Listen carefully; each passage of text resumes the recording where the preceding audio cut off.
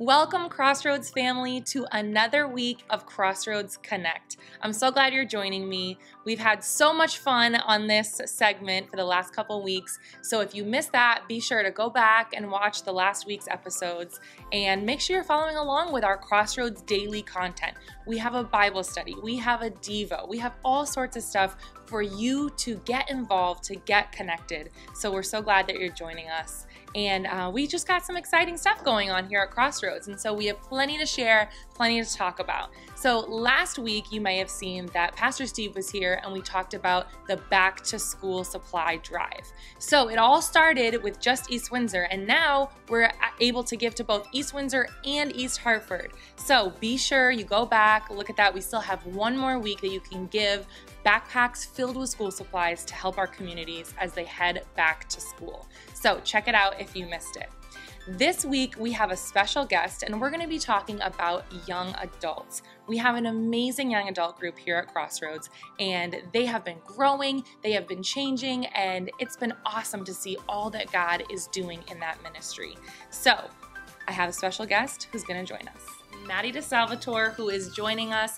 She is a part of our young adult ministry. And so I thought, who better than a young adult to come on here and talk to you a little bit more about what they do and what they're all about.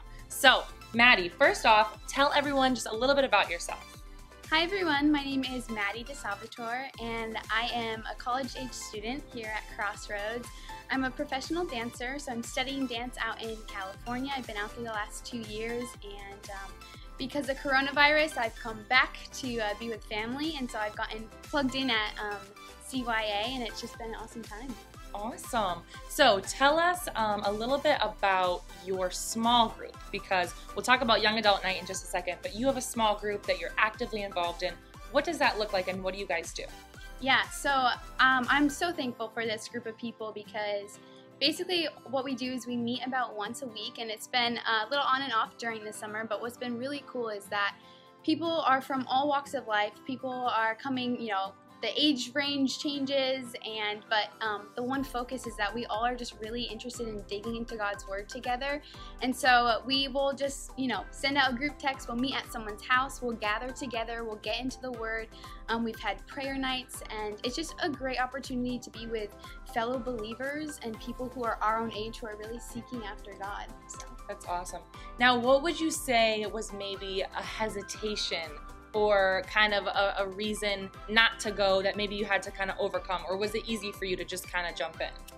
I think for me personally being in california and coming back um, during this quarantine i was really seeking out that that community of people who was on fire for jesus. I wanted that. And so um, for me personally it was pretty easy just to to just get in into the group. But the one little kind of blip was that we were on Zoom at the time. Right. So you, I had to kind of get over that and be like, okay, this is gonna be different. This is gonna be kind of strange because it's you know over Zoom.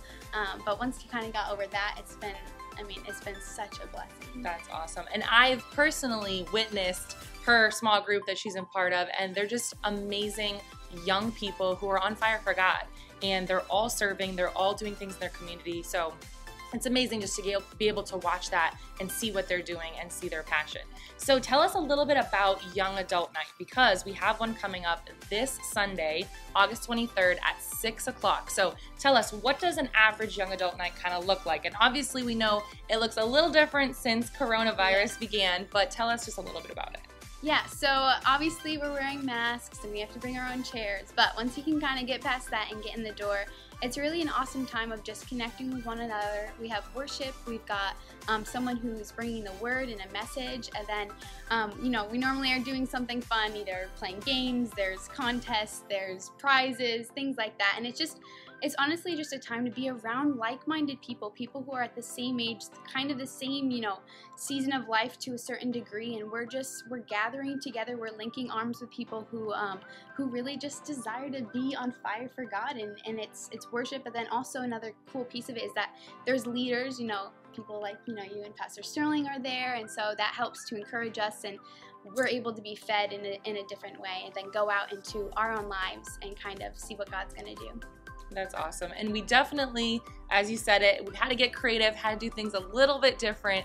But in the past, we've done even stuff outside of just our young adult night. Yeah. They have trips to Block Island, New York. We've done all sorts of fun stuff, tubing, paint nights. It's just so awesome to truly find that community. And their mission and vision is for young adults to be able to connect vertically with God and horizontally with other young adult Christian believers. And I think that's just so important because a lot of times um, in that young adult bubble, you could say, in that time of your life, a lot of it's very me focused. Yeah. And um, I experienced that in college, that that weird college bubble. And so I think it's really important that we have a space for young adults like you to come and to be able to focus on God and focus on others. And there's power in that. Yeah, for sure. So that's really cool. And um, so tell us one um, kind of hopeful thing that you have for this next year. Obviously, we've been in a different season during this pandemic. Yeah. What's something that you could share that you you just see a light at the end of the tunnel that you've experienced in this season? Yeah, for sure. I think, um, and kind of what you were going back, going back to what you were saying about young adults, it's like when you are around those people, it excites you to want to do more for the kingdom of God. And so I've just been in this very kingdom mindset. And what's cool is I've been serving with the youth group, and so Woohoo! yeah, shout out to my the awesome best youth group in the world. Yeah. Um, so one thing that I really have been desiring to do is to raise up kind of the next um, group of ladies, you know, in the youth group, and so.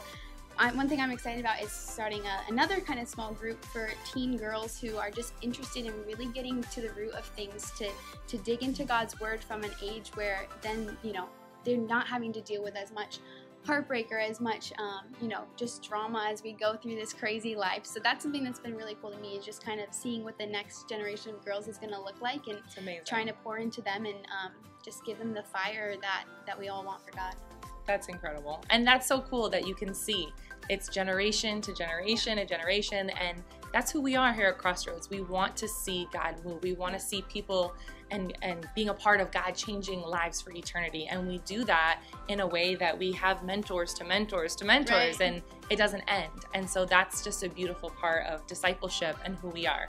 So thank you so much, Maddie, for joining us. And we hope that you join us again next week. Be sure you're subscribed to our YouTube channel, hit that notification bell so you always know when we have new videos coming out. We'll see you next time.